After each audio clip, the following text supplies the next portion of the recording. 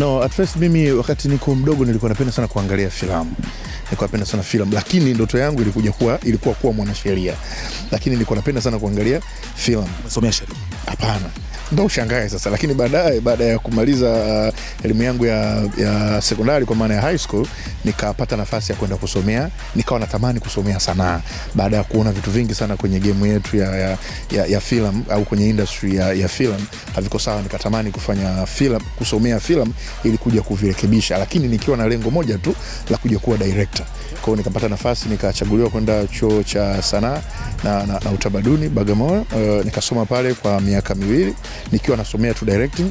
Baada ya hapo nikaenda chuo cha, cha, cha, cha Dodoma kwa maana ya UDOM, nikaenda kusomea filming and directing, lakini wakati nipo kule nika nilivyotoka sasa, wakati nakuja field uh, nikiwa mwaka wa pili, wakati naingia field sasa, nikapata bahati ya kukutana na wasanii wakubwa, akiwemo msanii mmoja ambaye alinipokea kabisa kwa mara ya kwanza, anaitwa Singo Mtambalike. Uh, kuna, kuna siku nakumbuka nika, wakati niko nilienda Bagamoyo kusalimia e, mtambalia akanipigia simu, bwana njoo Johari na filamu yake kubwa, nimemwambia akuchezeshe muhusika mkuu Mona. kwa hiyo nikatoka Bagamoyo nikaja mpaka Dar es Salaam. Kufika Dar es Salaam nikakutana na kina wale kina Johari kina kwa maana Blandina Chagula pamoja na Vincent Kigosi, nikakutana nao na kitabu kipa, kwa sababu hata tumeamua tunakupa hii unacheza mhusika mkuu e, na unaicheza naye humu ndani kama mke wako ni Irene Uwoya.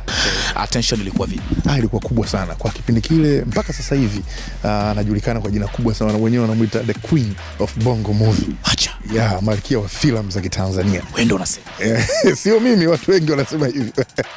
Kwa hiyo sasa eh, ile siku ambayo nakabidhiwa rasmi kitabu pamoja na advance hela yangu ya kwenda kujiandaa kwa ajili ya kufanya kazi, ndo nikaambiwa, kwa sababu nikauliza hapa anacheza nani, anacheza nani? Nilikuwa natamani hawa watu niwafahamu ili niweze kufanya rieso nilikuwa naogopa sana, ni nafasi ni kubwa, na nikaambiwa bana, hapa anacheza Uwoya. Ah, Nikasema uoya itakuwaje? Mona, nikaogopa sana kusikia tu jina lake. Uh, basi nika- nikajipa moyo tu hivyo hivyo, kwa sababu ni msanii. Nikaenda nikawa nasoma script najiandaa. Hiyo Uh, siku ya shooting, nakumbuka shooting tuliambiwa inaanza saa tatu asubuhi, lakini mi nilifika shooting saa moja kasoro asubuhi. Kwa hiyo uh, by the time uh, uh, anafika Uwoya, unajua watu wote tulikuwa tumefika kipindi kile, ndo Queen sasa anakuja, akaingia. Imagine sijai kukutana naye sehemu yoyote, nakutana naye kwenye ile eh, kwenye kwenye hiyo film, tuko set location, alafu nacheza sini ya maravidavi. Umeona, nimekaa mimi sebleni nasoma script akaja Irene uh, alivyofika pale akasoma ile script. Nakumbuka kwenye script nilikuwa naitwa Dennis, umeona, yeye alikuwa naitwa Ana Maria.